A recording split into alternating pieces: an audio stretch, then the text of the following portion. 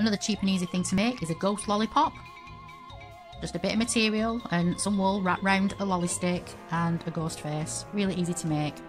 Just draw around a side plate with a pencil. And then just cut it out with some scissors. Just get your lolly stick and put it in the middle. And then just wrap it around. And then get your wool and tie it off. Easy to do and a cute little Halloween treat for the kids. Put that in a little bowl. And just put a little face on him now. I've just used a bit of acrylic paint, um, but I'm sure a black felt tape or a marker will do. There's your little ghost lollipop. Got two now, so we make a few more.